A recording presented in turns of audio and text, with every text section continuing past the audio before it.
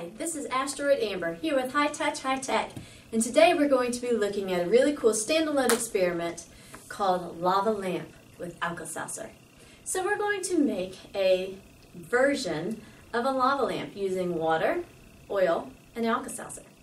So this experiment helps us to understand a little bit about density. We're going to see what happens when you put water and oil together in a cup or a bottle if you have one on hand. You're going to use a cup.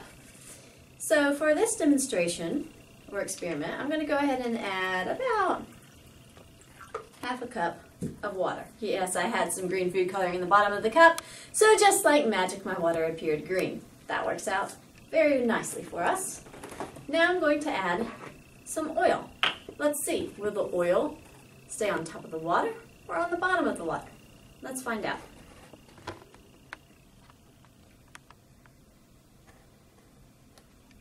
All right, lovely. If we take a look at the cup now, we can notice that the bottom layer is the green water and the top layer is the oil. Very pretty, right?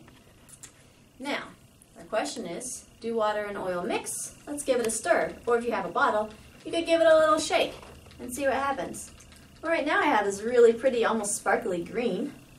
Gave it a nice stir, it all looks the same, and now, as it's coming back together, and it's stopping the spinning process, I'm noticing that once again, the water is sinking to the bottom because that's right, it's more dense, and the oil is floating on the top.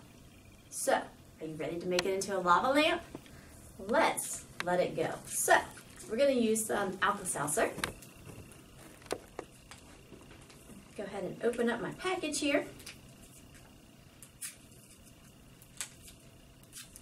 And we don't need a whole tablet, so we're going to break it into fourths or so. Now we know what Alka-Seltzer does, right? It fizzes. And this fizzing of Alka-Seltzer is going to interact with the water and the oil. Matter of fact, it's going to bring the water, it's going to release gas, which is going to rise to the surface.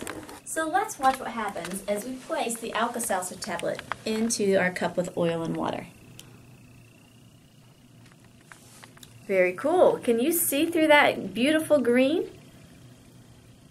What's happening is that that Alka-Seltzer, it's releasing those gases. A little bit of a chemical reaction is happening here and it's making the water and oil move. So we can watch that or we can go ahead and add another one. There you go. Take a look at that action there. That is a beautiful lava lamp.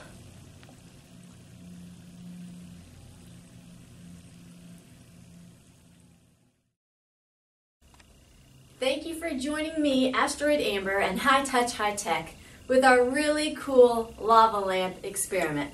Watch it go.